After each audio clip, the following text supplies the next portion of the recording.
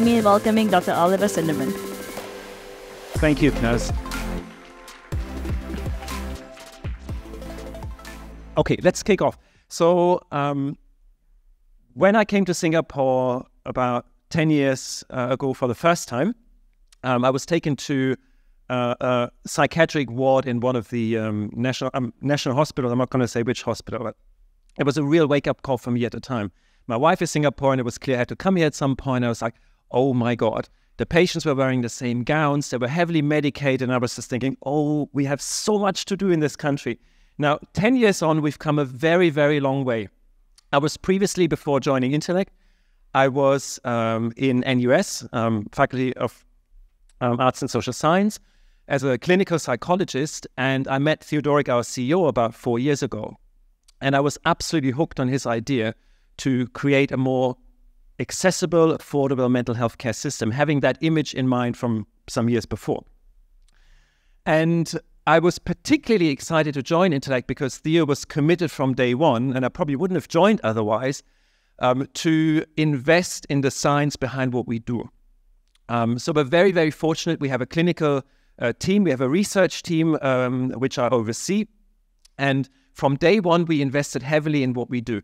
And I was a little naive when we started. I thought, okay, we'll just do randomized controlled trials. Most of our research is with NUS.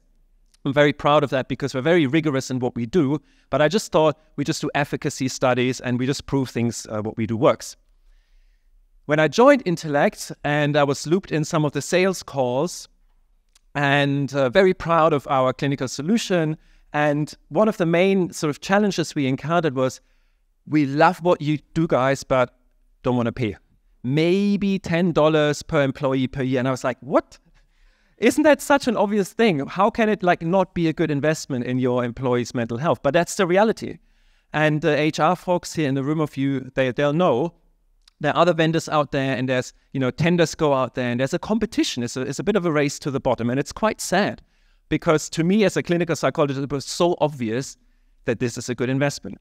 So then we advanced our research and I was like, okay, so we have to obviously prove to the CEOs uh, and to the people leader that this actually is a good investment. So, how do we do this?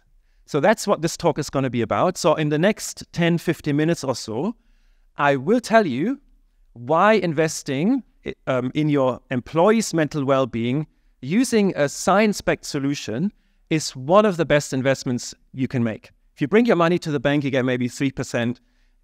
Bear with me, you'll, you'll see in a second what you get out of when you invest in intellect. All right, so here's what we're going to do. Always good to tell you what I'm going to tell you, and then afterwards I'll tell you what I told you. so we'll cover the hidden cost of mental health first. Briefly touch on traditional EAPs. They're very well intended, but they come with some problems. And then I'll share with you the solution. Okay. So just a little bit of history. EAPs have been around for a very, very long time. I won't go into much depth here, but what I do say is um, in the 1950s in Wall Street, um, AA was uh, founded to help with occupational drinking problems. And then a few years later, the first sort of traditional EAP was launched where families were given um, access to um, counseling, legal counseling, and support. But it was quite reactive at the time. And then fast forward um, to the 2000s, um, then private EAPs really, you know, they, they sprung up like mushrooms in a, in a Singaporean forest.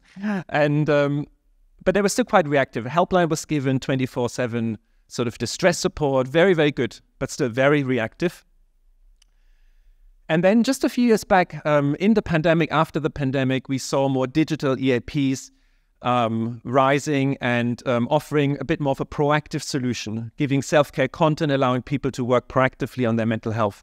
And we had the insurers speak earlier. My really my, my hope and wish for our insurance landscape is that we incentivize proactive mental health uh, care, of course.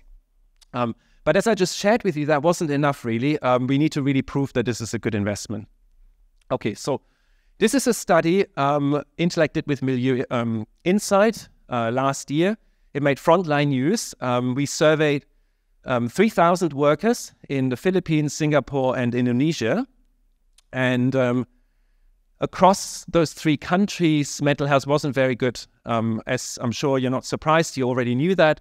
Um, we already heard um, Antje was speaking earlier about our long working hours, which we found was linked um, to obviously poorer sleep and poorer quality of life. The interesting thing was here that um, the Singaporean workers, uh, about a third of them, they were motivated by the fact of not keeping up with their peers. So this study was shedding a bit of light on the um, glamorization um, of the hustle culture we have here in this country so much. And uh, I don't need to give you another burnout statistics. We've we've seen this. You're not surprised, right? It's uh, it's a known problem. I saw this in Antje's slides earlier as well. So very briefly, this was a landmark study by um, IMH and Duke NUS um, that tried to put a money, uh, a dollar value to the cost of mental health problems uh, in companies. And what they found is that about 14% of the uh, around 5,000 workers or so they surveyed, they had symptoms consistent with depression and high overlap with anxiety as well. Now, understandably, um, those workers they take sick leave because they struggle, right? So that came with a cost of around five thousand dollars. But the real surprise of this study was the hidden cost: people coming to work but struggling, so it's hard to see. They, they they're just not at their best, right? And we touched on this before. A you know productivity um, drops, and um, that actually came with a much much higher cost. So that's the real shocker, I think, here that people coming to work but they're not functioning and they're, they're not doing very well. Okay, so now we set the context. So what is part of the problem? So traditional EAPs um, are very, very well intended. Of course, they are. Um, but the problem is they're kind of built for non-utilization. That's why they're so cheap. And so on the surface level, they're quite attractive. But you know, traditional EAPs, what do they do? So they give access to a helpline. That's good. But often the helpline is not localized. So you may not speak to a responder who is trained. There's often a callback. You have to wait. Now, if you're feeling suicidal, that's a real issue. You can't really wait for someone to call you back. So ideally, the responders are trained um, culturally nuanced. Uh, the, sorry, the, the um, a lot of the responders are not trained in a culturally nuanced way, and so really it's a band aid, and you can't really shift the culture of a company. You have to, as we heard earlier, have to work with the leaders. You have to really work with a framework like the one from NUS to come, you know, multimodal and multiple layers. You can't just fix mental health with an EAP. And the other problem related to that is that um, adoption is now especially in recent years, we heard this a lot, you know, especially the new players, they shout about, oh, we're utilized a lot more. And, and we do that too. Of course, if no one is using your solution, then you can't really change the person's mental health or you can't really improve it. But is that really what you need to know at the board level, whether people are using your solution? So, what organizational outcomes are you really looking for? Is it just that the solution gets used? Is that what you're looking for? Is it utility? Um, what is it? So think about it this way. If you have to see your dentist every week, is that, a, is that an indication of, of, of good dental health? Probably not. And the same goes for if you have to have a therapy session every single week or every other day for, for you know, weeks or months on end. It's probably not um, the best indicator that what you're doing works. Okay, so maybe you're not getting or receiving evidence based care as possible. So let's talk about the metrics that really matter and let's talk about the science that um, drives those. So this is the um, intellect model, and I'll briefly walk you through those layers and then I give a bit more meat to um, each layer as well. So at the bottom, when you adopt a well-being solution that is comprehensive, you first want to know whether it works, okay? Whether it does what it says it does. Does it lift up your staff's mental health? So we're looking at mental health literacy. Excuse me. Does it reduce stress? Does it reduce burnout risk? Um, does it, um, you know, lower depression, anxiety, and so on? Okay, um, and you want to have proof, ideally, from peer-reviewed research. So this, um, these are studies um, um, in the academic world where you have other professors with a magnifying glass, they're kind of dissecting what you're doing. They're very strict. And if you manage to publish your research in, the, in such journals, that's really a quality stamp um, that what you do actually works. So ideally, you want that. Okay, that's level one. Now, level two is more holistic well-being. Okay, so mental health on its own is only part of um, um, mental well-being, as we know, right? There's financial well-being, there's uh, spiritual well-being, um, and so on. Um, and there's resilience as well. So physical health and mental health, of course, the you know is tightly linked. We all know that. So does that does your study also sorry does your program also drive resilience and physical health, nutrition, and so on? Okay, that's the second layer. So more holistic resilience approach. And thirdly, this is for the boardroom, for the HR leaders. These are the metrics you already know from your pulse surveys, your engagement surveys. Um, what is it that you know matters to you? We heard about retention, turnover, loyalty to the company, and so on.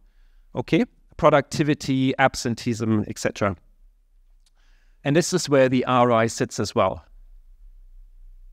So, very, very briefly, most of our research is done, as I said, in partnership with NUS. Um, we have other partnerships as well. Across the board, we find that our solution really does seem to make a difference to people. And I'm super proud to share this with you. I don't have time to go into much depth, but all of those studies are published and um, you can access them on our website or you can also ping me. I'll, I'll, I'll share those with you. Um, so, just very briefly, we, we looked at body image and self compassion. We did a study in NUS. Um, another one looked at stress uh, reduction, stress coping, um, anxiety and worry as well. Um, and this study is just um, hot off the press as well.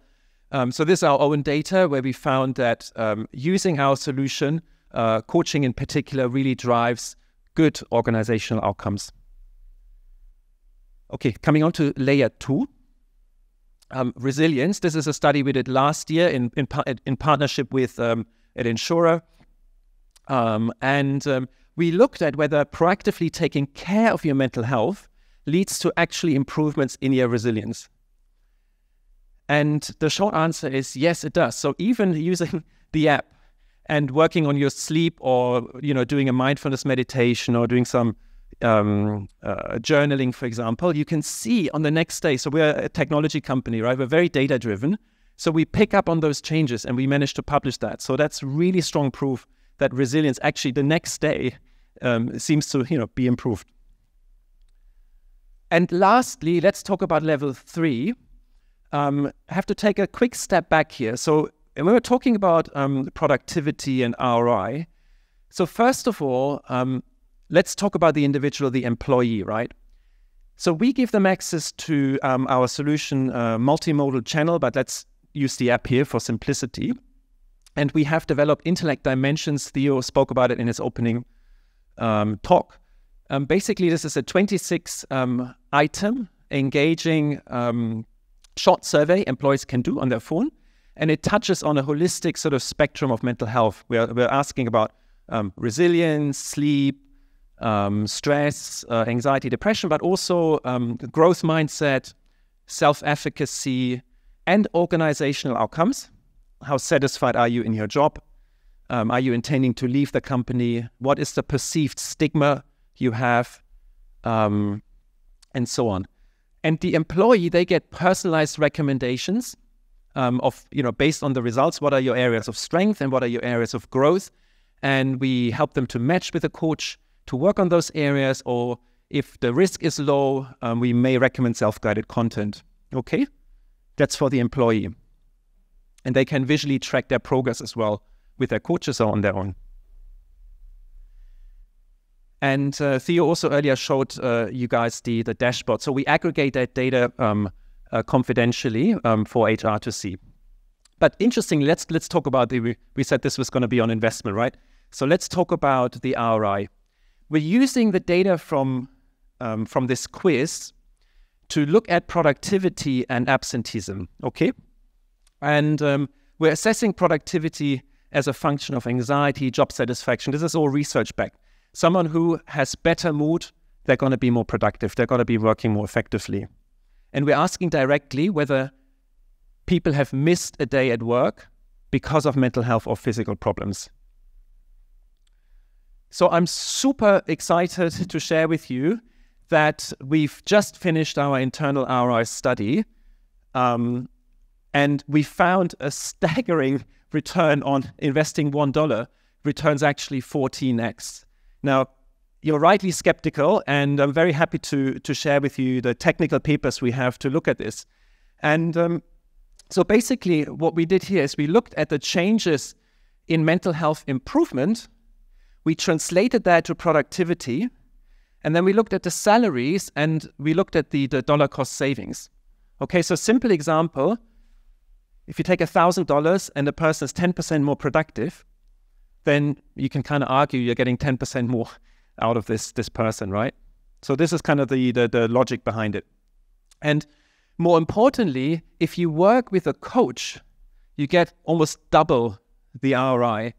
And that is because we're obviously we're humans, we're creatures of habit. It's hard for us to change. If we work with a coach as much, we're accountable to someone, and it's it, it's usually easier to change our habits and work towards better mental health. Um, so yeah, for more details, happy to or grab me in the um, the break. Now we're taking this one step further. So when we partner with companies, we allow to benchmark as well. This is um, fictitious data. I didn't want to share the real data. We partner with NUS and um, we did this um, Intellect Dimensions Personal Insight quiz, and we benchmarked against other university so that NUS gets insight how their staff compare um, the industry standard. And then together with their team and our organizational psychologists, we can make recommendations uh, based on those results. And that's my last slide. I just wanted to also, Bob has already covered it. Um, I just wanted to say that the science we, the, the studies we do, uh, Intellect and at NUS and so on, that's obviously very important to, to demonstrate that what we do actually works. But as Bob has shared, if you really want to make a difference, you need to work at the policy level. And many of our clients here have um, office staff across ASEAN, not just in Singapore. So um, we are looking, as Bob had shared earlier, we're looking at um, to conduct a white paper, and we'll be reaching out to some of you as well to partner with us on this. Um, we're planning two things, as Bob has shared earlier. In a, in a nutshell, we want to inform policy change across ASEAN, not just in Singapore. And we heard from Antti already that good things are already happening, but we have to really look at the, the, the, the you know multinational, the wider context. That's one policy change. And we want to give a framework of recommended corporate mental well-being um, strategies that are evidence-based. Of course, yoga lunches, wellness classes is all fantastic, but you need to really consider the evidence base. So we're putting it all together, and we're going to present um, the data as Bob shared next year at various conferences as well. So stay tuned for that. Um, and I believe we're going to have a panel now. So no, sorry, one more slide to just put it all together. Okay, so in summary, um, we talked about the hidden cost of mental health challenges. There's rising awareness, great, but there is still a hidden cost, and we've seen this in the Duke, um, NUS, and IMH study. Traditional EAPs fall short because they're not used and they report utilization data, not so much the outcomes that matter. And finally, the power of science-backed uh, solutions um, is actually is very important because if if what you adopt in your company doesn't work, then you're not really shifting the needle for your employees. So make sure that what you're using is science backed and gives you in-depth insight the data so you can, that you can you know react to it and deploy proactively. So if you see that your sales team is having higher risk of burnout, you want to be proactive about that. Okay? Okay, so that's right. it. So thank you so much for your attention. And we have a panel now. Thank you so much. Thank you. Thank you, Dr. Oliver. So, Dr. Oliver, you can remain on stage. I will now like to invite our esteemed panelists to join us. We have Mr. Lutfi Ghani, Human Resources Director, Singapore and Malaysia, Kuehne Nagel, as well as Ms. Hina Bose, Deputy CEO, Pacific Prime. Uh, and we moderating this session will be Frank Intellect's VP of Marketing. Let's give them a round of applause, shall we?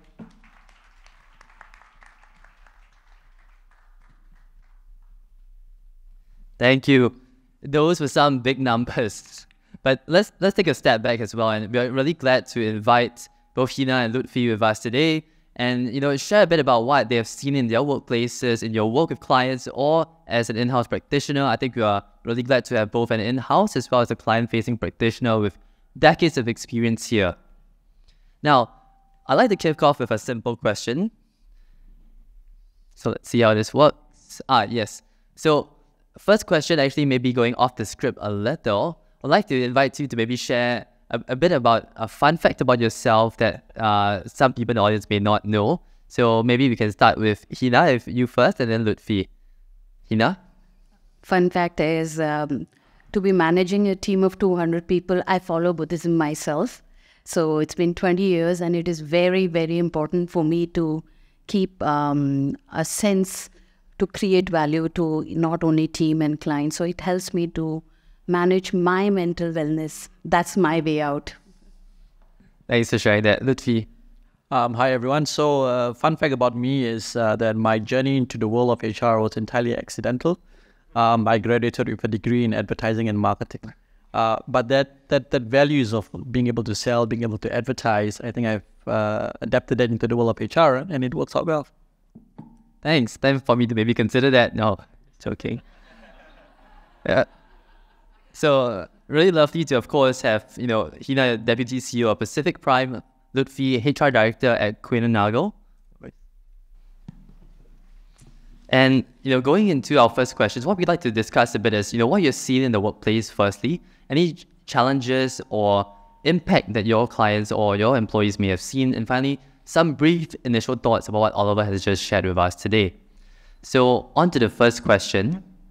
So, this is for Hina based on your work with Pacific Prime's clients, you know, you have dozens and I'm sure like globally tons of clients as well. Okay, sorry that that screen may just need a bit of a technical refresh. Uh, how have you seen the market demand for mental health services evolve? And if any, how does how do you see Intellect in the last few years fit in some of those needs that may be required? Thank you, Frank. So each client wellness journey is different. Some might be embarking on EAP services, while these uh, few might be looking for coaching, self help sessions. Our team tries to understand the client requirements and then customize the plans as per their need. One which is very close to my heart is digital integration. So, as an organization, we have created an ecosystem where we connect client data to our in-house tool, which is connected to insurers and well-being partners. So this provides one-stop view. In nutshell, it simplifies the processes. So what our team is trying to do is collaborate with the Intellect team to promote mental health solutions together for clients. Thanks so much for sharing that. So it sounds like you're actually giving the big picture both mental but also holistic physical and medical wellness of your clients' employees. That's that's really interesting. Now, maybe for, for you, Lutfi, a similar question, but you know, in your context of, and I, I recall as well, you know, Kuehne Nagel, I think was one of the first uh, earlier clients of Intellect back in two years ago. Drawing from your experience since then, have you seen, you know, could be yourself or the employees that you work with, any elements of the platform that you have found effective? Uh, so my journey with Intellect started back in 2020. Um, back then, I was given uh, instruction by our corporate offices to have an EAP in place. Um, and I, when I researched into EAP, all I needed to know was EAP means uh, a 24 by 7 uh, hotline.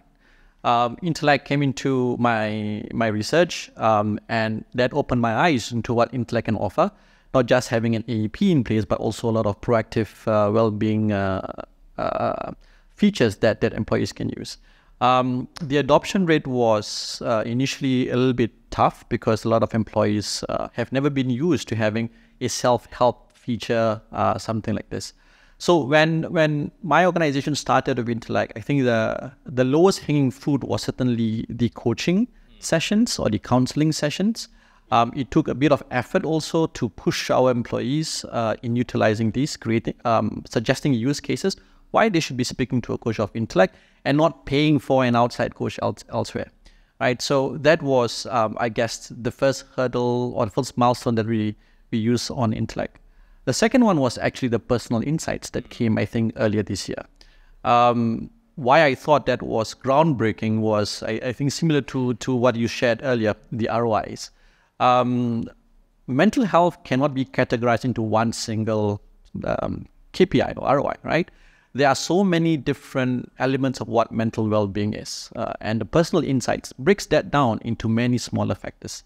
So when employees saw that, you know what, when I'm suffering from mental illness or I'm suffering from challenges in my mental health, that doesn't mean that uh, you're just not good in, in mental resilience. It could mean a host of factors. So that personal insights break that down into other smaller areas where employees can work from. And they know that, you know what, I'm strong in some, but I'm weaker in others. So to me, that was really groundbreaking so that employees are able to really use that for their own personal benefit. Thanks for sharing it. I was going to touch on personal insights in my closing remarks, but you've covered everything, so I can scrap my speech. Um, but, but thanks so much for sharing. I think actually important point that you raised, and honestly, we also want to be upfront, is that not everything is a plug and play as we wish it could be, right? We, we definitely have seen much success in that, but a lot of it will be in that organizational approach where both intellect and the team that we work with, uh, such as yourselves, you know, partner us and drive that education forward. And I think that's what you mentioned earlier and has definitely, you know, gone a long way since we started as well. Thanks for sharing that. All right, so back to you, Hina. I want to kind of dive a bit deeper into what you mentioned earlier, where you know Pacific Prime, as you mentioned, tailors kind of the approach for different client needs. Now, maybe just using any one of uh, the different types of solutions. This could be uh, from telehealth coaching and counseling. It could be self-care guided programs such as content and journaling, as well as the EAP helpline. How have you seen these, uh, or either any of these programs fitting into the needs of your clients today? So, mental health, um, I mean, internet solutions provide flexibilities to individual, and it does fit into their modern lifestyle. They're not only cost effective in comparison with the traditional counseling setup, but also it empowers individuals to take care of their mental wellness. So, this sense of self efficacy is appealing to many individuals. So, in nutshell, I'll say the programs gives flexibility, they are cost effective, it empowers individuals, and that's the key this is appeasing to a lot many individuals who are actually reluctant to go to a traditional counseling setup, especially for those people. That's a great point. So it's essentially you're putting the power back into the employee's hands. You give them the ability to choose. The benefits are there. They are educated, and then they, they choose which path, which journey they like to take. Thanks. Thanks. Right. So similarly, I would like to, to dive a bit deeper into what you just shared with us, Lutfi. So you talked a bit about the journey and how it's evolved to actually include personal insights this year. Now, I think in one, one of the first times that we had the chance to meet, uh, you had, a, I think I recall quite a deep impression of you sharing some of the impact that you may have seen on the organizational results from intellect to the workplace. So in this next question, uh, we'd, we'd love to understand, you know, if you could share a bit more about any organizational impact you you have seen from utilizing intellect in your past number of years? Uh, so my initially uh, prepared answer, uh, I had written it down, but I think you just took everything that away because there's now an ROI available. so, but just imagine my answer was before Dr. Oliver.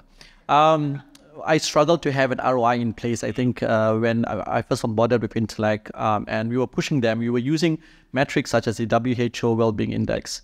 Um, but that doesn't have a strong correlation towards organizational ROIs. So I think over the past three years, I think uh, I also went on the journey trying to find or grasp at straws um, on linking, you know, this well-being index towards organizational ROI. And and for us, one of the first things that we used was attrition, uh, going deeper into why employees leave us. Uh, and one of the um, one of the KPIs that we have was attrition due to work-life balance coming out from the pandemic, I think um, we we saw that there are under in influences towards this particular reason for attrition, but we do we did see a significant drop uh, in those who wanted to leave because of work-life balance. And when we did exit interviews mm. um, on why they are leaving, uh, many employees felt that many employees who had left mm. felt that you know they were not supported in trying to achieve work-life balance. But then when we did a second research into why employees stayed, uh, then that's when I realized, I wouldn't say for many, but for some, the, the name intellect came forward. Yeah, uh, because firstly, I think similar to to achieving self-efficacy, they have tools on hand to strengthen their mental resilience. They have tools on hand how to immediately combat stresses at the workplace. In the past, you know what? When I'm stressed, I throw in a resignation letter. But today, when I'm stressed, I'm not going to throw in a resignation letter. I have tools on hand on how I can manage my day-to-day challenges. Um, so that really helps. And, and when push comes to shove, you can meet a counselor, you can meet a coach, you can go to HR. HR can then recommend other intervention techniques to make sure that you get um, the support that you need, right? And beyond this as well, uh, beyond intellect, if an organization has a strong mental wellness or employee wellness program, you know, you also um, offer other uh, initiatives such as physical well-being, and all of these drives uh, work-life balance at the workplace. Thanks so much for sharing that. That actually reminds me heavily of what we started the, the day with. I think Anthea actually shared, you know, the expectation of employees to workplaces I, I think it was a stat of above 80% at, you know, are looking for such services in the workplace and they see that as essential to feeling supported as well. So I think it's exactly what you covered and, and thanks for sharing what you have encountered. Uh, I'd like to maybe invite Oliver yourself as well. You know, um, Lutfi, you, you've shared a bit about when, of, of course, the path to mental well-being and, you know, getting organizational results is not always the, the fastest, right? Let's be honest. Um, what would you have to, to share with, you know, any of our existing clients or future potential or anyone looking to embark on their own mental well-being programs uh, in terms of you know linking some of the results that they see from the program to organizational outcomes that leaders are looking for so that's a great question, Frank. So my hope is that we're moving beyond ROI, actually, that we're looking more at value of investment and that we don't have to convince companies that investing in the in, in the staff's wellness and mental health is a very good investment. Now, the outcomes we see. Um, so you're asking about the organizational outcomes that matter. Um, so not all companies care about the ROI. Some do, and as I shared earlier, the the motivation for the study was, you know, to really convince people that this is a good investment. Um, many org outcomes, like you know, Lutfi shared, um, is is around retention, but I think we're shifting more towards becoming more attractive as an employer, um, which is more sitting within the VOI, right? Um, staff, especially younger folks, they they do their research. They they they know what a good mental wellness or mental health program looks like. They ask questions. I had it myself in some of the job interviews. Um, so that makes me think as a people leader as well, what can we do more to um, help companies to be attractive um, as employers. So yeah, I mean the the typical ones in the if you recall the pyramid, the top one, mm. um, it's it's around loyalty to the company, organizational citizenship. So do employees go the extra mile? It's closely linked to psychological safety. We I think saw that in Anthea's um, talk as well. People who feel safe, they're just more. I mean, it goes without saying, right? They're more motivated. Um, you know, work is such a big part of what we do, our identity. So if we feel safe with our managers, then we come to work. I think it's those those uh, variables that make people feel safe in the company, um, want to come to work, and be committed.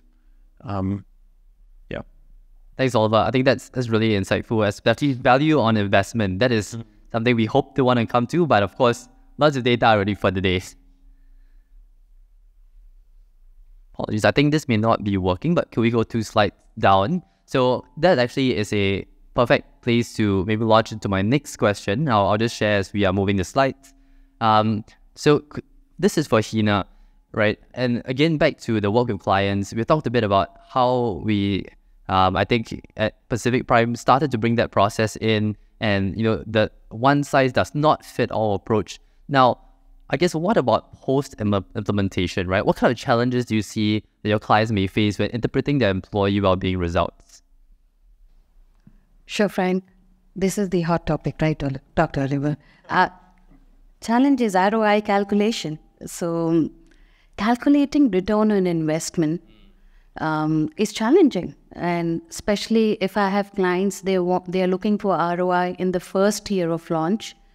It's and they're just um, actually going for EAP services.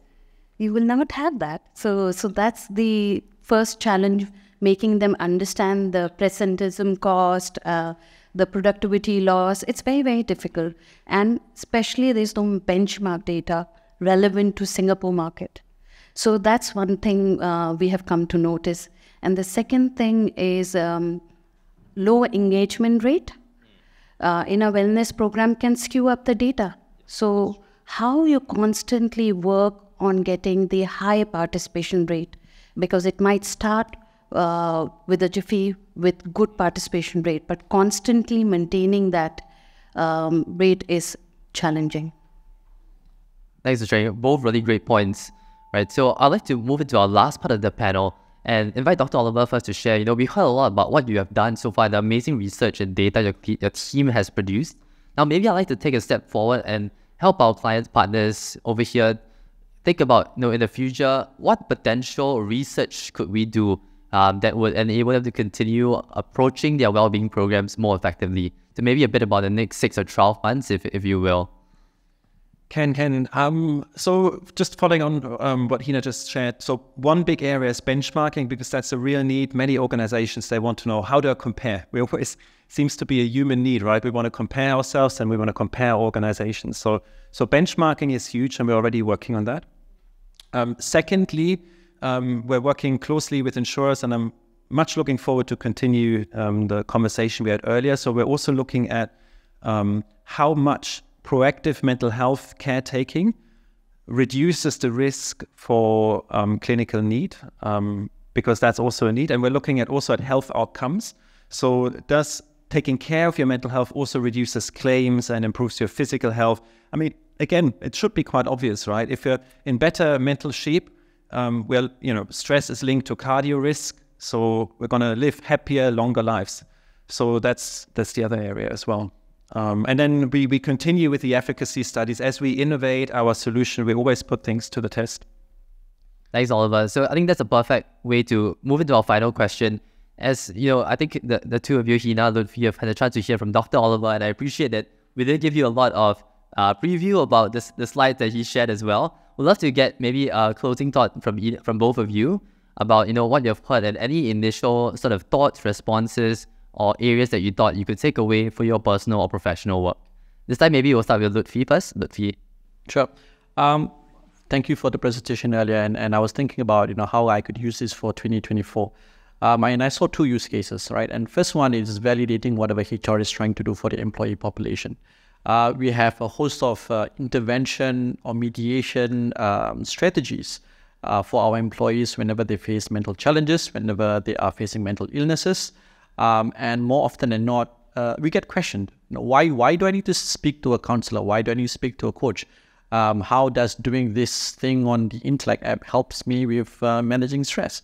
So having this scientific data helps to validate why uh, HR are pushing for these activities for our employee groups. So I think that's really helpful. Um, and, and the second one is a little bit more proactive. Um, I think um, as much as uh, your data is science-backed, um, a lot of organizations also want to see how that affects ourselves internally, right? So um, I could use, um, uh, we could do sample trials even within our organization, within teams, um, on how the utilization of um, whether it's intellect or other uh, employee wellness initiatives um, have a direct positive correlation to productivity. Uh, we have productivity measurements in the organization, and now having this uh, clear ROIs, we could then use that samples and show that, hey, you know what, this is your external data, but even internally, this works.